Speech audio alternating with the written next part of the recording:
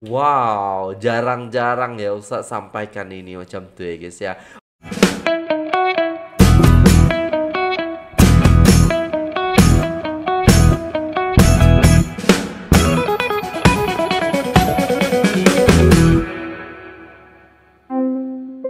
Assalamualaikum warahmatullahi wabarakatuh. Jumpa lagi dengan saya guys Cak Mujib. Gimana kabar teman-teman semua? Semoga sehat selalu dalam lindungan Allah Subhanahu Wa Taala Dijauhkan dari segala mara bahaya Malapetaka, bencana dan bala Serta berbagai macam penyakit. Amin amin ya rabbal alamin. Alright guys kita masih uh, berada di channel yang sama di sini guys ya.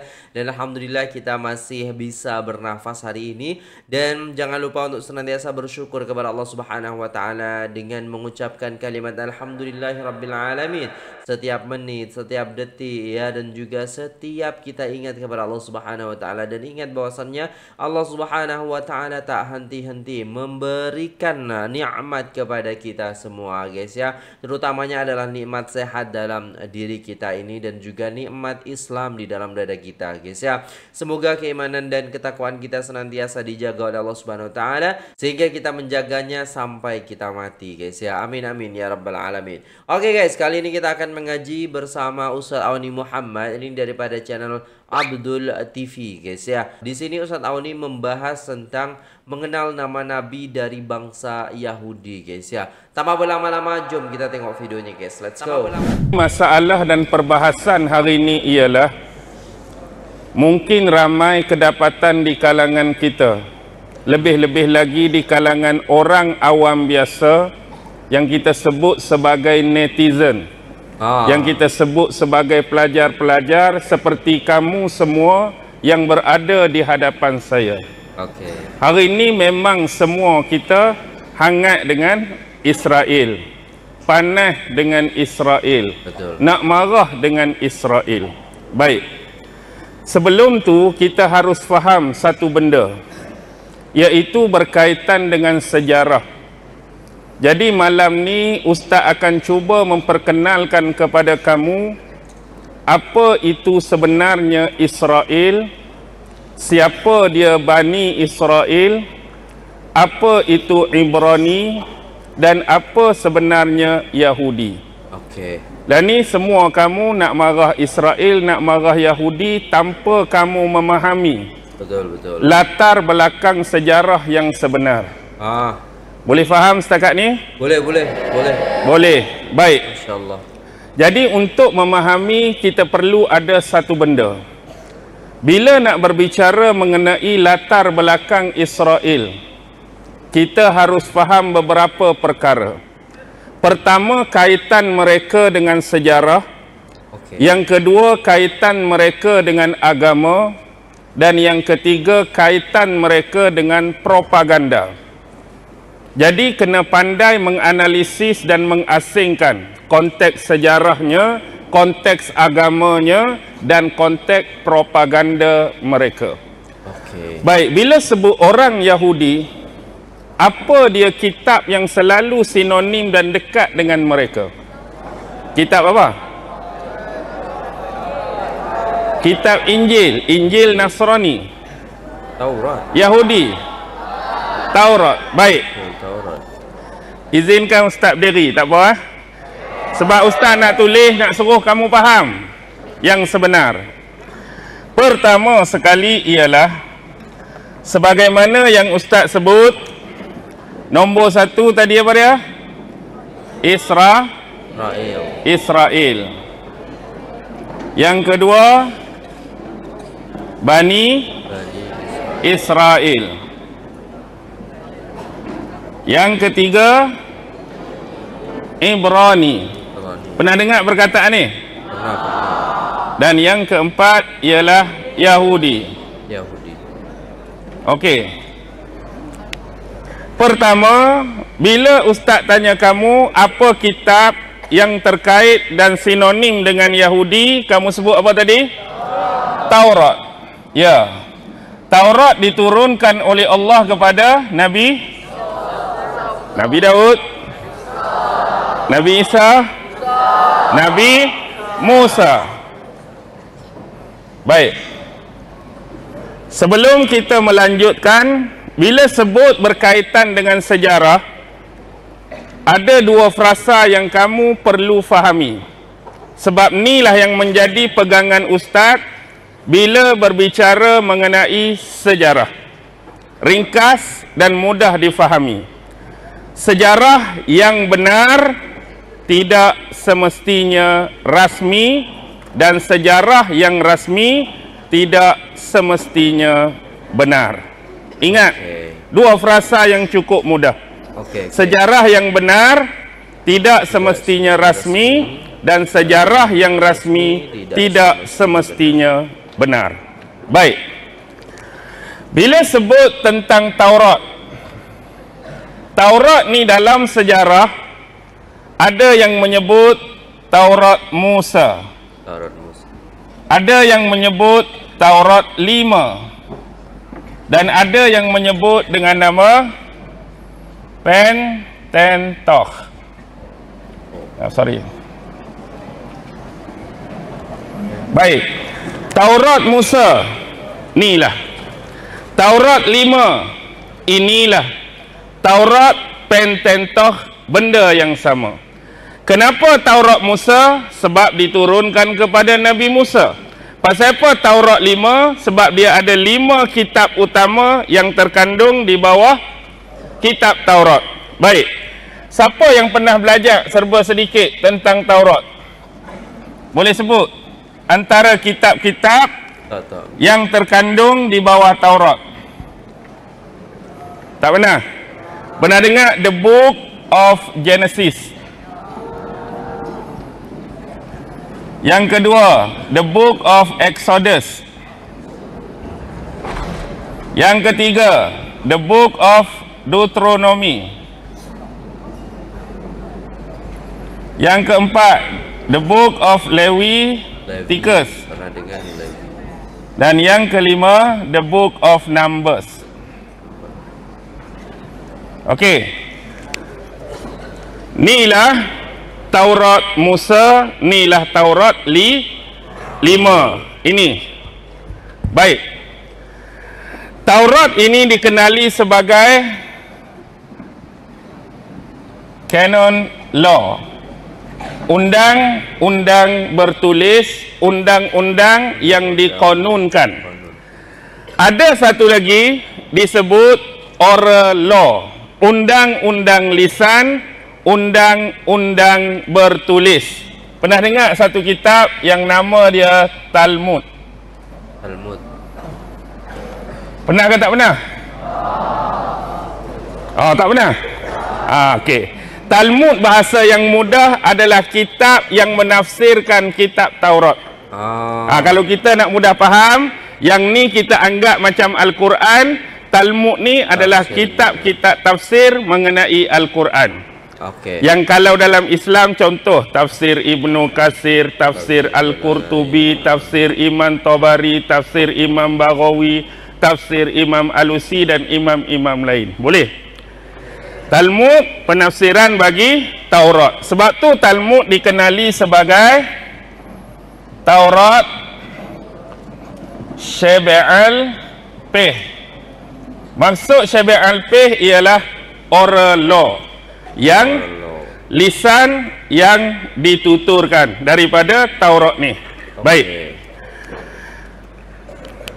Sekarang ni bila kamu dah faham lima ni, kamu perlu faham satu benda yang paling penting iaitu tanah. Anak. Ah, sudah. Okey, tanah macam ni. Ta nun kha. Anak. Tanah ni adalah kata yang diambil secara akronim sekerat-sekerat. Ta bermaksud Taurat. Na nun Nevi'im dan kha Ketuwim. Bukan ketum ah. Tuin. Ketuwim. Okey. Taurat jelas yang lima ni. Nevi'im ni merujuk kepada apa? Nevi'im ialah merujuk kepada kisah para nabi dalam Taurat.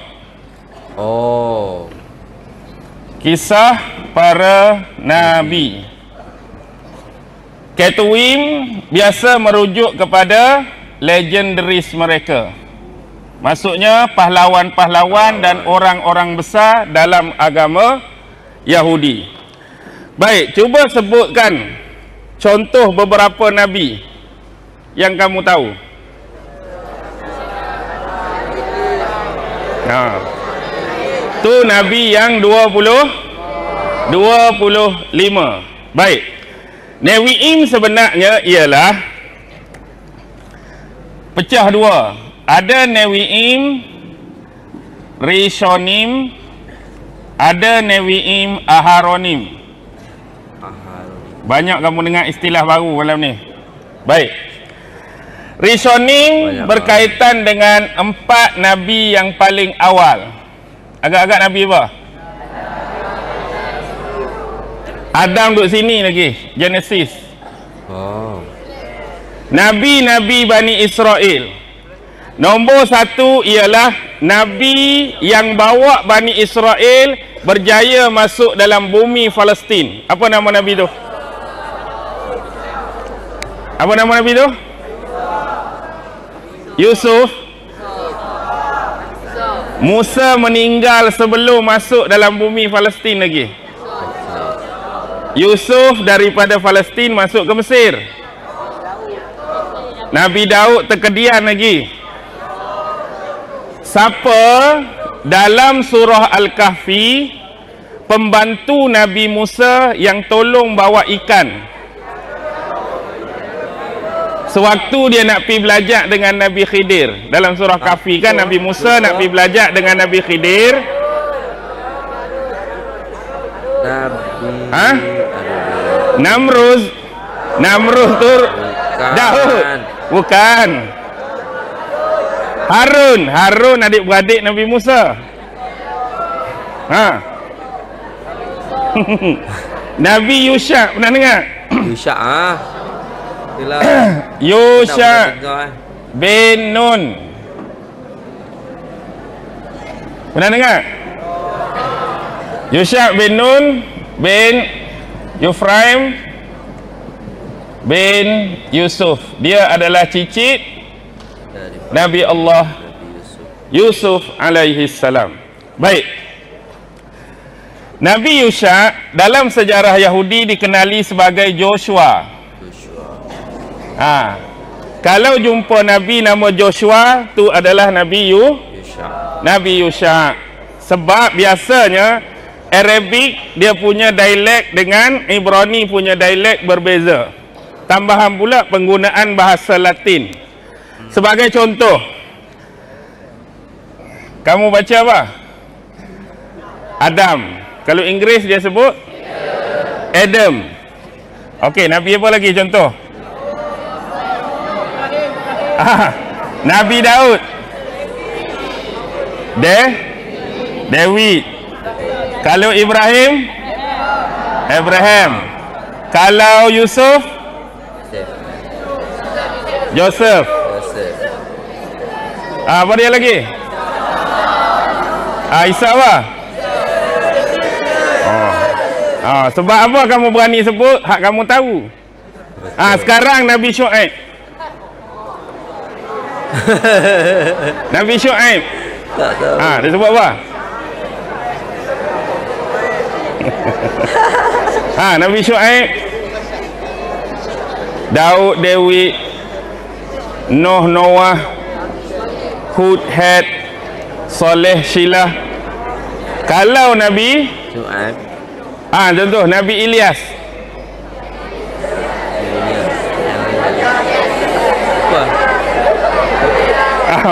Oh, kalau Arab Ilyas. Kalau itu Ilyas. Elijah. Elijah. Elijah. Okey, Nabi Shu'aib memang tak sama langsung. Kamu dengar pun tergelak. Nabi Shu'aib Inggeris dia ialah Jethro. Oh. Ha. Kalau jumpa dalam Bible Nabi yang bernama Jethro, eh hey, tak pernah dengar ni. Tu adalah Nabi Shu'aib alaihi salam. Baik. Yang kedua, selepas bercerita tentang Joshua, dia cerita tentang Shoftin. Shoftin ni bukan Nabi ya. Shoftin ni ialah 12 hakim Bani Israel. Ah. Pernah dengar kisah para hakim? Sejarah? Tak tak tak tak. Tak pernah? Belum, belum. Okey. Selepas Nabi Joshua wafat, ada dua orang lagi Nabi yang jadi raja bagi Bani Israel. Wafatnya Nabi yang ketiga tu, mereka dah kehabisan Nabi. Lalu mereka angkat 12 orang hakim daripada 12 Bani Israel. Oh. Hakim tu nama dia pelik-pelik. Kamu boleh Google tengok cari 12 hakim Bani Israel. Ada nama Otnil, Ehud, Samgar, Deborah, Gideon, Tola, Yair, Yefta, Ebzan, Elon, Abdun, Samson. Ha, tu 12 12 hakim Bani Israel. Lepas tu dia mari pula seorang rasul yang bernama Samuel. Ha. Samuel. Memang ada nabi nama Samuel. Ejaan Arab dia sin mim waw ya lam. Nabi Samuel. Samuel. Okey, Nabi Samuel ni zaman Nabi Daud dah ni. Kemudian yang terakhir ialah Malachim. Malachi. Malachim bermaksud raja-raja. Bermula Nabi Daud, Nabi Sulaiman dan raja-raja Bani Israel sepanjang sejarah. Seterusnya Aharonim ni empat bahagian. Satu, dua, tiga, empat. Tiga yang pertama ni semua Nabi ni bermula dengan huruf Y. Sebab tu disebut tiga Y. The why. Pernah dengar Nabi? Nabi apa? Ha, agak-agak. Why? Eh? Yesaya, Yes. Oh yeah. Yeremia, Yehezkiel. Okey. Yesaya, Yeremia dan Yehezkiel. Yang keempat ni disebut istilah tri asar. Di asar. Tri asar memasuk 12 orang nabi kecil. Maksudnya nabi-nabi biasa di kalangan mereka. Nama lagi-lagi pelik. Pertama nabi apa? Pertama nabi Hosea. Yang kedua nabi Yul. Yang ketiga Amos. Yang keempat nabi Obajah. Yang kelima ada dalam 25 rasul kita Nabi Yunus duduk dalam nabi kecil mereka. Kemudian Nabi Mikha. Yang ketujuh Nabi Nahum, yang ke-8 Nabi Habakuk. Nabi Habakuk ni terkenal, cuma kamu tak tahu cerita dia. Oh. Tapi sebab bukan nak cerita pasal Nabi Habakuk. Malam ni kita nak cerita lain. Kemudian adalah Nabi lain, Nabi Zefanya, Nabi Hagai, Nabi Zakaria pun termasuk dalam ni Oh, lebih kecil. dengan Nabi Malachi. Okey, ni nak suruh faham. Biar. Kamu tak pernah dengar pun ustaz nak suruh kamu dengar. Bila masa kamu pernah jumpa dengan istilah macam ni, kamu akan tahu apa benda tu. Okey. Allahumma salli ala sayyidina Muhammad. Alright guys dah selesai videonya Dan itulah tadi ya guys Yang mengenal nama Nabi dari bangsa Yahudi.